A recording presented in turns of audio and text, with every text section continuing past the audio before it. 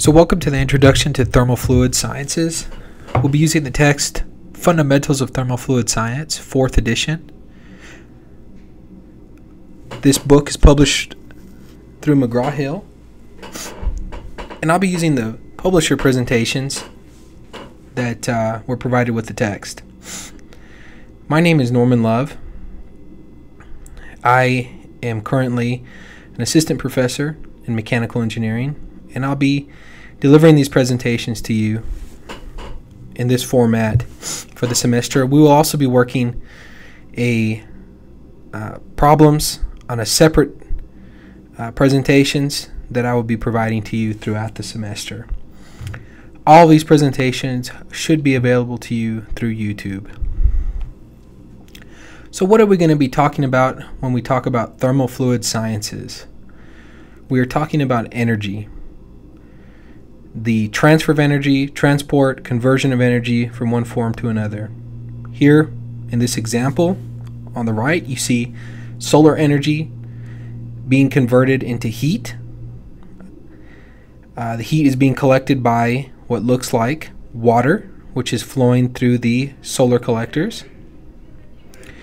The water then uh, is collected in a hot water tank and can be used for a shower. And here we see all three examples of thermodynamics, the change in temperature of the water, the energy transfer. We see heat transfer, the rate at which the water is increasing, the rate at which energy is being transferred in this system, and fluid mechanics, the flow through the pipe would be a good example of that.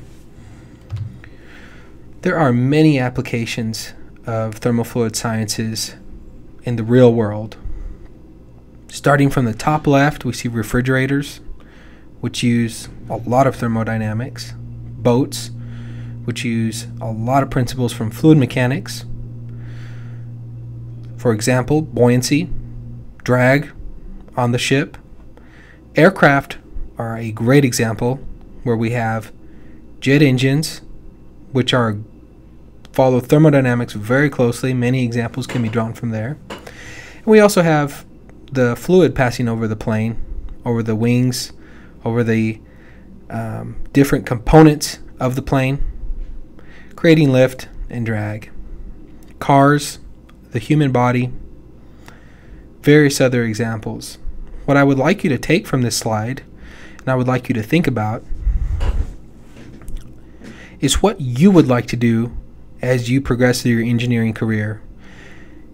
If you can think about one of these applications or something that you enjoy doing, there is probably an application of thermodynamics or heat transfer in that area. If you're interested in the human body, fluid mechanics, we have blood flowing through veins. Heat transfer, we have heat being transferred off the body continuously. Power plants, do you guys want to make energy more efficient? Do you want to invent a new way to convert energy from one form to another? Many different applications can be found, and I challenge you to think about what you enjoy doing. So, thermodynamics is the study of energy. Literally, if we look at the Greek, the word means heat and power a key cornerstone of what we're going to be talking about in this course is the conservation of energy principle, which says the energy is energy is converted from one form to another, but cannot be created or destroyed. In other words, energy is conserved. In this example, we see potential energy gets converted into kinetic energy as this boulder falls off the cliff and begins to move. We'll also apply other types of energy internal energies, flow energies, work, heat, and we'll balance these in what's called the first law of thermodynamics, which is essentially the conservation of energy. So, what we're going to be doing is we are really just going to be summing up and making sure that all the energy is accounted for in our systems that we define. So keep this in mind as we progress through future chapters. A cornerstone, and I hope one of the things that you leave from this class with is that energy is conserved. It's not created or destroyed. Another topic we'll be touching on towards the end of the thermodynamics module is that energy has a quality to it as well as a quantity. And uh, we will really just be getting into the details of that later on, introducing topics such as entropy. Now, there are two different types of thermodynamics that we could study. One is the classical approach, another is a statistical approach. The statistical approach will have to do typically has to do with microscopic or on a molecular level, how is energy transferred from one set of particles to another? In our class, we will be taking the classical approach, or we'll be looking at things on a macroscopic scale. So we're going to be combining all the effects of these particles and assuming that they work together in a system. The classical approach, in many cases, is what you will find in practice. Although there are plenty of positions where you may need the statistical approach to thermodynamics, but that will not be presented here. It could be taken in another course. Another topic that we will not cover in this class, but that is relevant, is heat transfer. Heat transfer will be presented to you in a future upper level division course. And what I'd like to do with this slide though is just introduce you to what is the difference between heat transfer and thermodynamics. Well, thermodynamics is really interested in understanding what happens from one equilibrium state to another.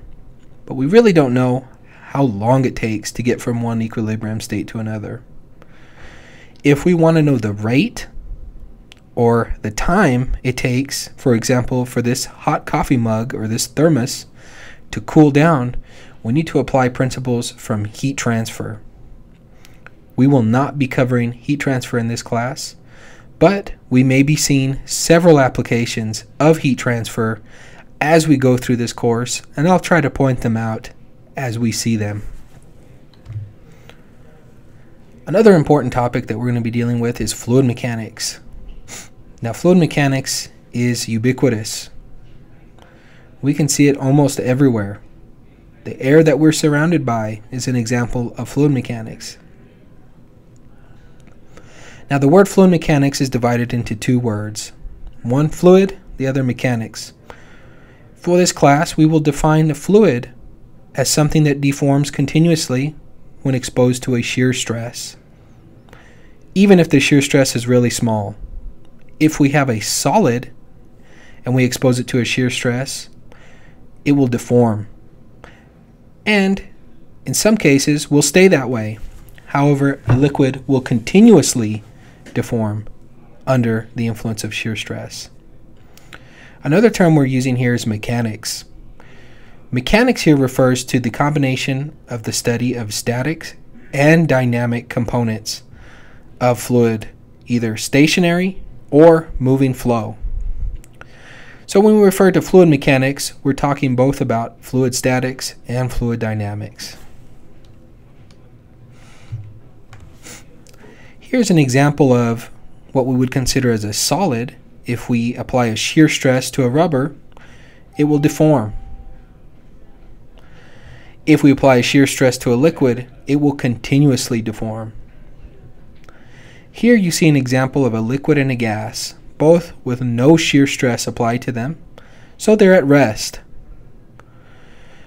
In a case where they're at rest, pressure is the only pressure is the only normal stress on this fluid. Later on, we'll be talking about how we calculate pressure at different locations from what is indicated here as the free surface. The free surface in many diagrams we'll be drawing is indicated by this upside down triangle.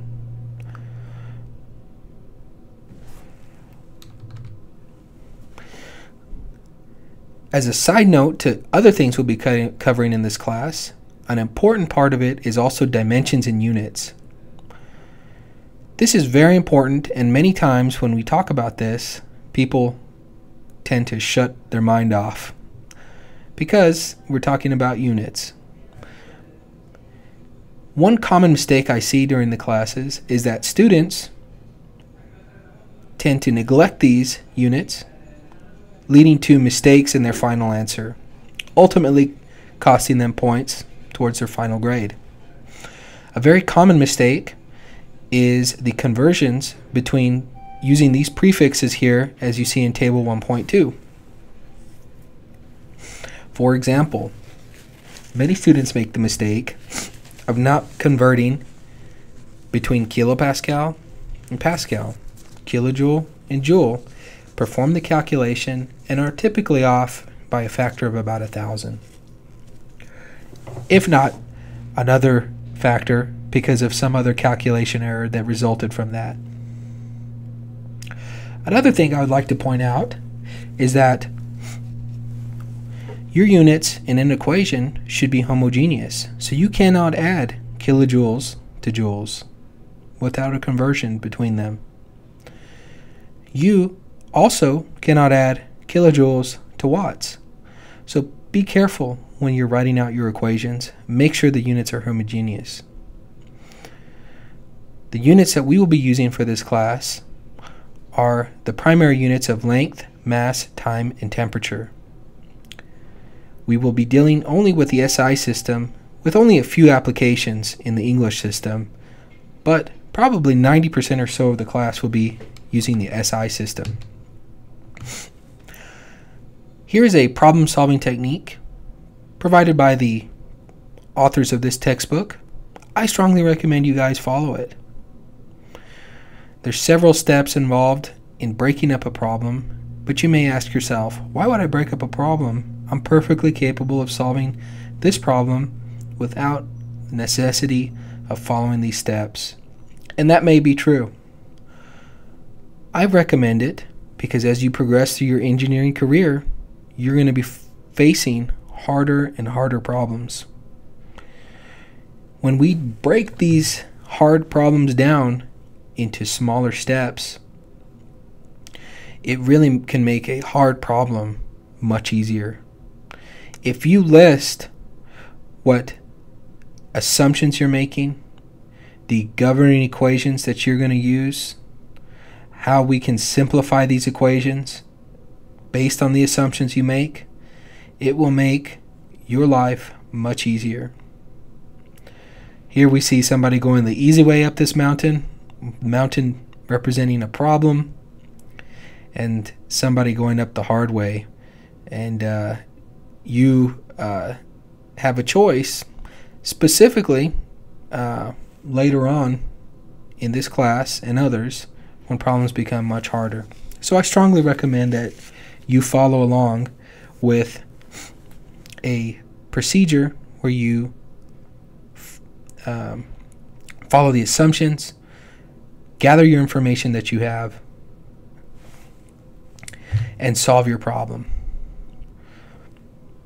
Just a remark on significant digits now.